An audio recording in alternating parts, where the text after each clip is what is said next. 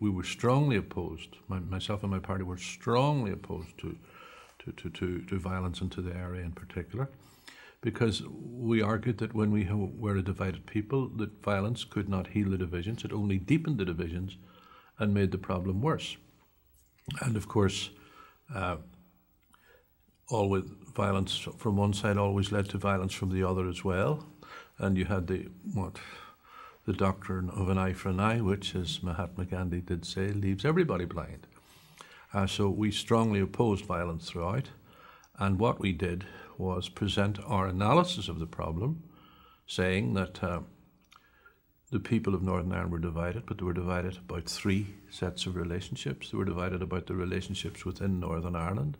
they were divided about the relationships within Ireland, and they were divided about the relationships with Britain and that for the problem to be solved, that those three sets of relationships should be the agenda at any talks. And given that that should be the agenda, the, then the British and Irish governments should be together at the table with all the parties